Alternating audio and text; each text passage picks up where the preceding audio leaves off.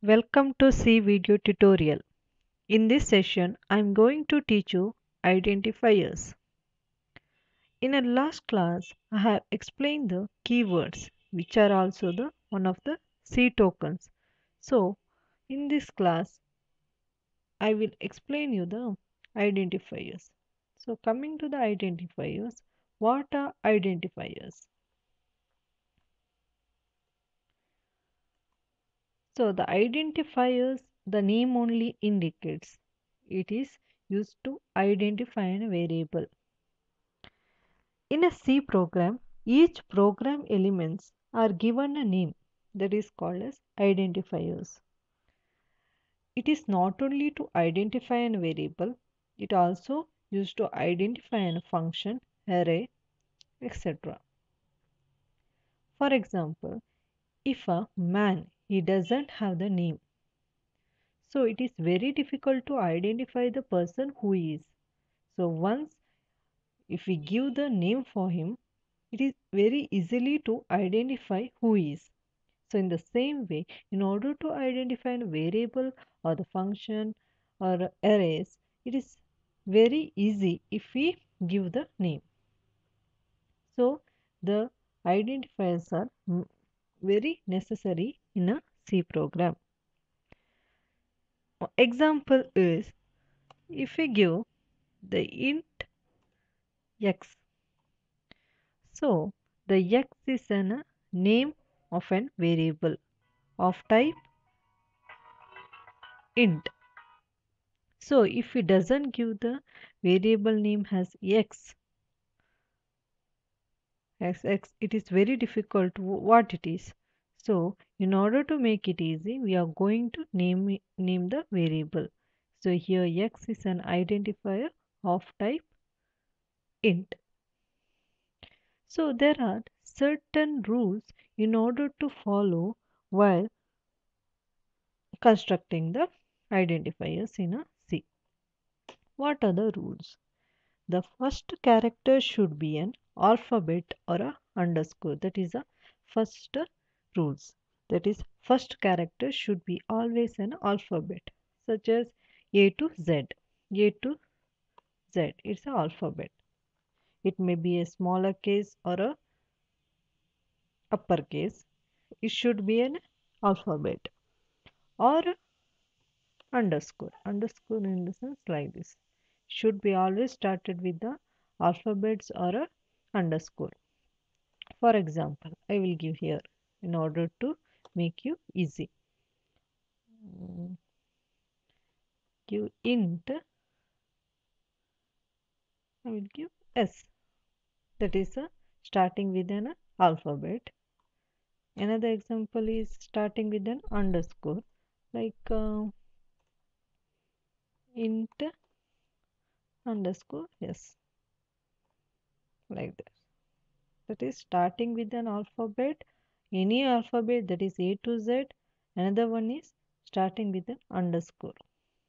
That is the first rules in order to construct an identifiers. Second rule is that succeeding characters might be a digits or a letter.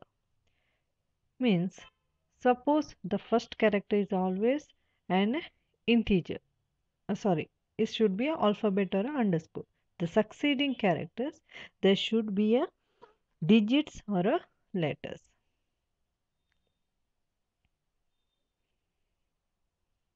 Like uh, example is that um,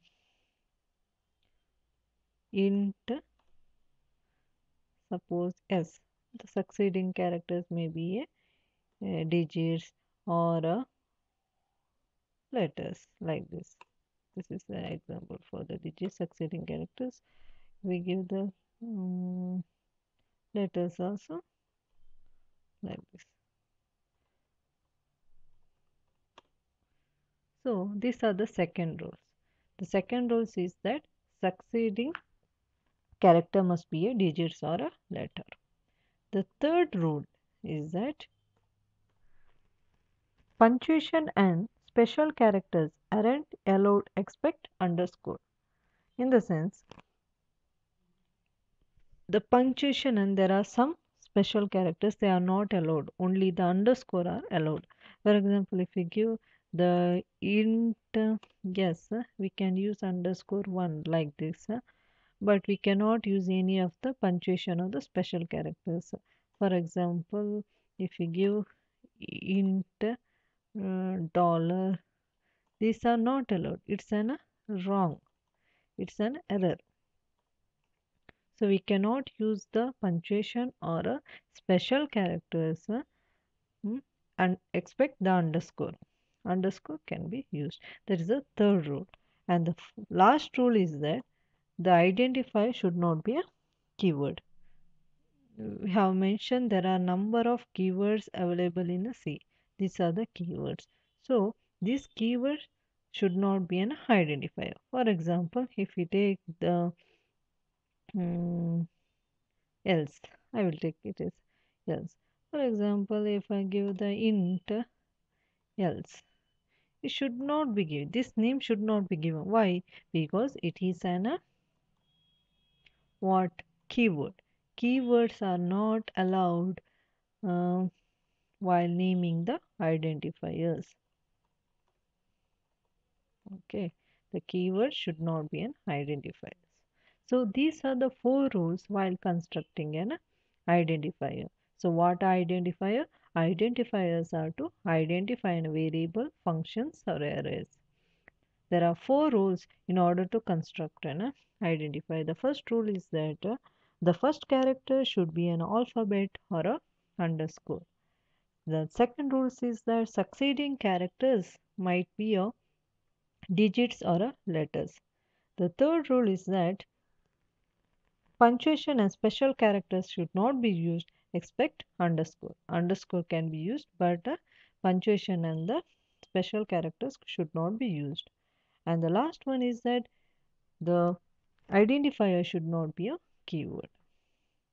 These are the four rules for constructing identifiers. Hope you understand this uh, uh, session. I will explain you the next C tokens that is a constants in another video. Thank you. Have a nice time.